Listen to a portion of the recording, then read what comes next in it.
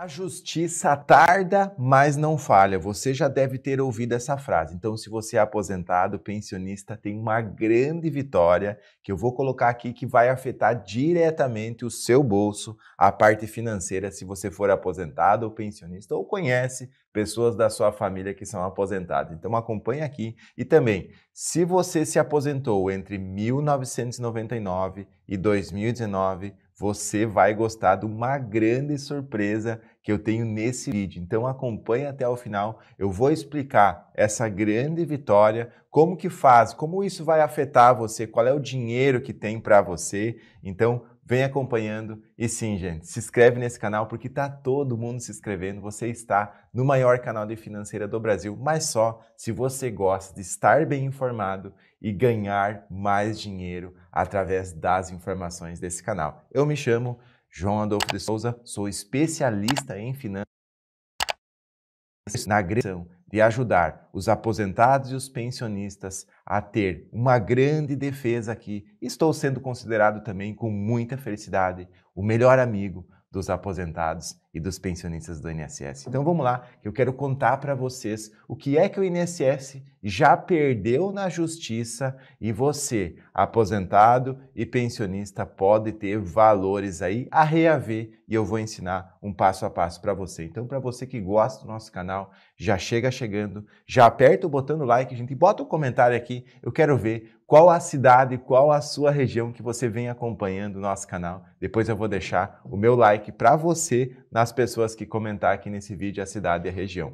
E olha só, o INSS perdeu na justiça já o pedido dos prazos das revisões de benefícios e eu vou explicar para você o que isso significa e qual o direito que dá para você ou pessoas da sua família nessa decisão que o INSS perdeu, gente, tá? Vamos começar então. O Instituto, então, havia entrado na justiça para impedir que essa decisão aconteça, mas os beneficiários agora sim podem pedir e podem ganhar. Como isso funciona?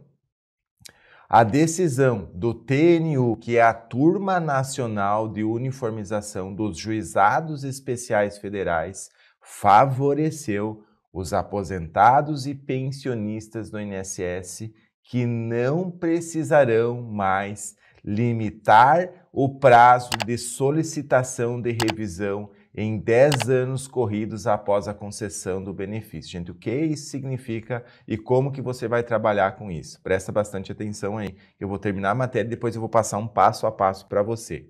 Os juizados entraram em consenso e rejeitaram a solicitação do INSS em restringir em até 10 anos corridos o ano da concessão e o limite máximo para que os beneficiários possam pedir a revisão dos seus benefícios. Gente, não é novidade para ninguém, né? Queria saber a sua opinião também. O INSS parece que está sempre contra o aposentado e o pensionista porque diz que nunca tem dinheiro, gente. Logo eu vou entrar na parte da surpresa, se você aposentou aí de 1999 a 2019, então fica aí. Mas comenta aqui, gente, coloca no, no comentário se você concorda que o INSS só quer prejudicar o aposentado e o pensionista. Coloca aqui no comentário, escreve concordo, se você concorda com o que eu estou dizendo, eu vou explicar para você. O pedido era do instituto que a intitulada decadência fosse mantida a partir da data do primeiro pagamento do benefício, mesmo se não houver o pedido da revisão, gente.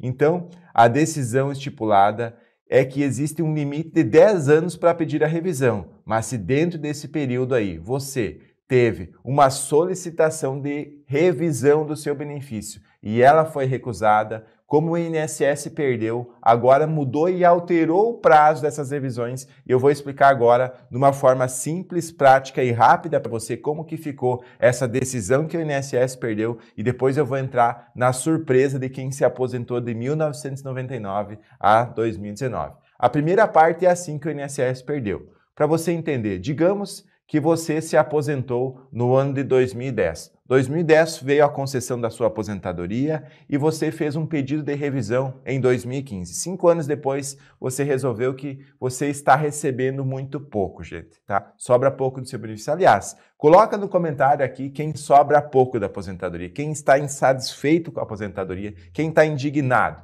Coloca assim, eu estou insatisfeito ou estou indignado com a minha aposentadoria. Pode comentar aqui. E olha só. Então, se você se aposentou em 2010 e cinco anos depois, você em 2015 fez um pedido de revisão, porque você achava que o seu benefício não estava correto. Cinco anos depois, então, 2015. O que essa regra que o INSS perdeu mudou então? significa que em 2015 é aonde começa a contar o prazo de 10 anos, aonde você perdeu esse recurso. Então traz praticamente aí mais cinco anos para você pedir de novo um recurso de revisão da sua aposentadoria e não mais quando você se aposentou. Então, essa data foi alterada para quando a pessoa perde a, o pedido de revisão. Então, alterou esse pedido de 10 anos, gente. Isso é maravilhoso porque altera o prazo das revisões de benefícios. Porque o INSS não é novidade que quer prejudicar, ele tentou entrar na justiça para impedir essa decisão, mas ele perdeu e está valendo, gente. Então é isso que mudou na primeira decisão. Mas eu vou partir para a parte principal agora, para a surpresa de quem se aposentou de 1919, 1999 1999 até 2019, o que é que são, quais são os seus direitos. Então acompanhe até o final e gostaria de pedir para você que já comentou aqui no vídeo a sua opinião, Aperta o botão do like, gente, e compartilha com a sua família. Tem muitas pessoas que você gosta, pessoas conhecidas que não sabem dessa decisão, que podem ter valores a reaver. E, gente, a televisão não divulga isso. É só você aqui no maior canal de financeira do Brasil. Por isso que é tão importante você estar inscrito aqui, porque várias vezes eu coloco conteúdos aqui no canal que poucas pessoas sabem e também poucas pessoas têm esse conhecimento para ganhar mais dinheiro. Então vamos lá, vamos partir para a parte principal da live de hoje, de 1999 até 2019, quais são os seus direitos, qual é o valor que você pode reaver. Então presta bastante atenção que eu vou explicar para você agora quais são os seus direitos. Tá? E é sobre o julgamento do STF da revisão da vida toda da aposentadoria, que também vai trazer agora valores para quem se aposentou de 1999 até 2019. Eu vou atualizar como está esse placar, gente, e como que vai ficar a sua aposentadoria disso, gente. Olha só, porque o impacto para os cofres públicos é de 46 milhões, gente.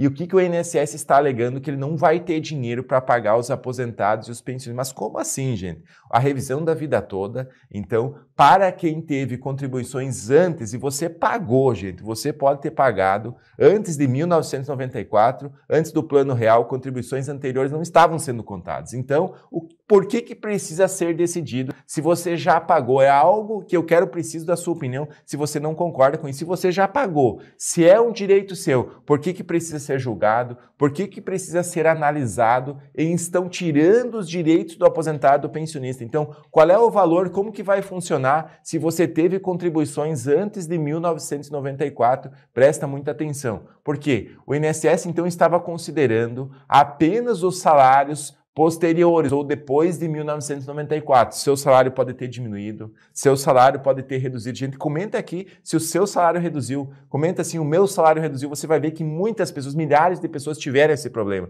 porque as contribuições não foram consideradas, as pessoas não são mais gato novo, como dizer. Todo mundo está notando que o INSS cada vez paga menos para o aposentado. O poder de compra do aposentado está diminuindo. E essa decisão aí agora que eu vou contar para vocês vai trazer repercussão nacional. Porém, o INSS está alegando que não tem recursos necessários para pagar e ele já tem problemas financeiros. Problemas financeiros é o caramba.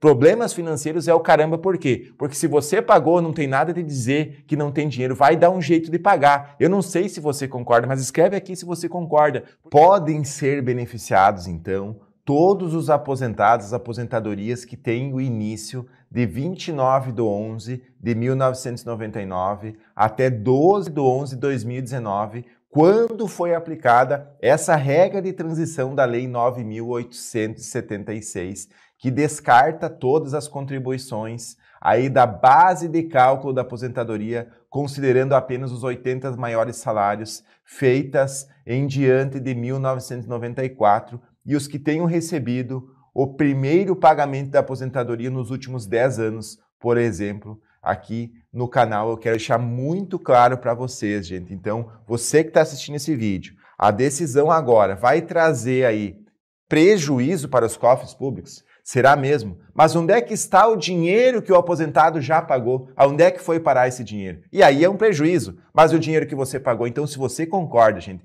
além de colocar aqui no comentário eu concordo, apertar o botão do like, a gente viraliza esse vídeo. O BPC Luas já começa aí perdendo o seu direito da revisão da vida toda, mas tem muitas pessoas, e pode ser que seja você, que tem aí vários tipos de aposentadoria no INSS. Comenta aí, coloca no comentário qual o tipo da sua aposentadoria, eu vou explicar agora como que funciona a revisão da vida toda, e é claro, gente, não dá para esperar que a revisão da vida toda vai pagar você automaticamente. Já se fala, né? Revisão. E o INSS nunca vai pagar algo automático para a sua conta. Você vai ter que saber dos seus direitos para conseguir conquistar esse dinheiro, essa grana preta que está chegando da revisão da vida toda. Para começar também, nós temos que falar todas as pessoas que tiveram contribuições, que tiveram carteira assinada antes de 1994, você pode ter direito. Mas como assim pode? Não é uma certeza se eu paguei contribuições antes de 1994, se eu posso receber os valores. Tem mais um quesito importante que eu vou explicar, mas presta atenção aqui. Também não são todas essas pessoas que têm essas contribuições antes de 1994, porque se as suas contribuições, ou seja, seu salário anterior de 1994 eram salários mais baixos, salários menores, pode prejudicar você nessa revisão da vida toda. Por isso que é importante. Vai ter o direito também quem tem contribuições maiores, o salário era maior na época anterior, em 1994, antes da regra nova da Previdência Social que foi aplicada a partir de 1999, que eu vou explicar para você.